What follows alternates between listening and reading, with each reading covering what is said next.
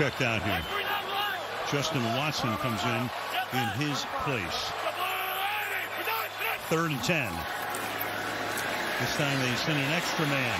Mahomes gets away to the end zone. Caught! Watson, touchdown.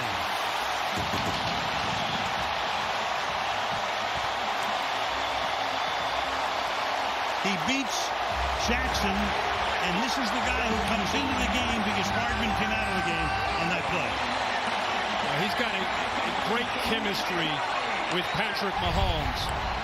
The difference here is they allowed him to step up in the pocket. This is one-on-one. -on -one. He turns J.C. Jackson, the premier corner in the NFL. It's a heck of a route there to get him to turn. But credit the offensive line for giving him enough room to step up. Bosa went wide.